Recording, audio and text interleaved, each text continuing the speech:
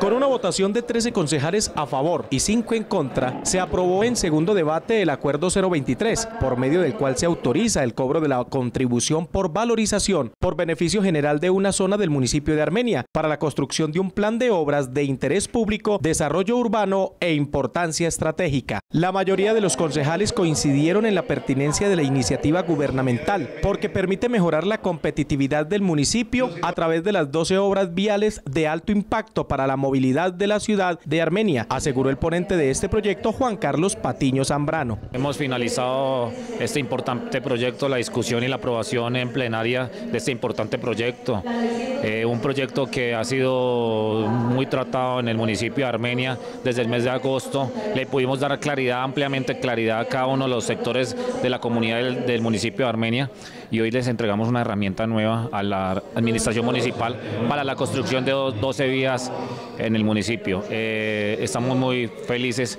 muy complacidos también al aceptar en el artículo 27 la iniciativa de la señora gobernadora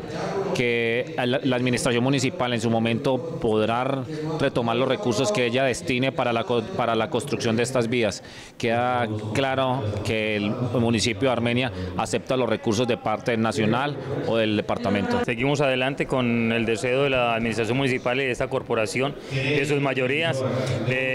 hacer de una Armenia competitiva, de generarle de, generarle movilidad,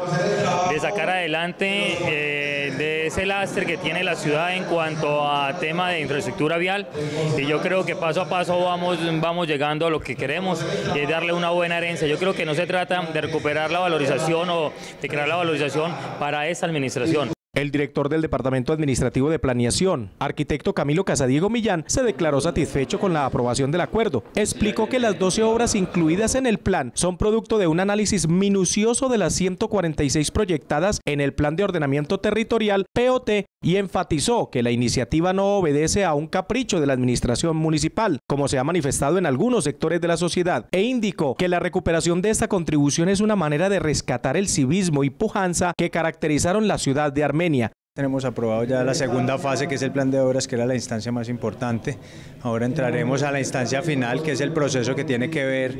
con el endeudamiento y las vigencias futuras excepcionales. Yo pienso que eso es un proyecto que estaremos radicando la próxima semana ya para cerrar este ciclo y empezar ya los procesos técnicos que conlleven a la iniciación de todo el proceso de valorización, esperando que nosotros podamos tener listo para el próximo año todo el proceso e iniciar nuestro tan anhelado plan de obras que será el dinamizador del desarrollo en la y que permitirá que tengamos una nueva cara y generar una inversión y que la ciudad como tal sea mucho más atractiva. Por su parte, el gerente de la empresa de desarrollo urbano Edua, Sebastián Congote Posada, expresó su agradecimiento al Consejo Municipal por apostarle a la construcción de una ciudad moderna y competitiva, con la aprobación de un proyecto que le inyecta dinamismo al crecimiento de Armenia, aporta la generación de empleo y da entrada a nuevos inversionistas. Nos encontramos con un consejo municipal muy propositivo, un consejo municipal que se interesó en la discusión en cada uno de los artículos, profundizando en cada uno de ellos y fortaleciendo un proyecto que será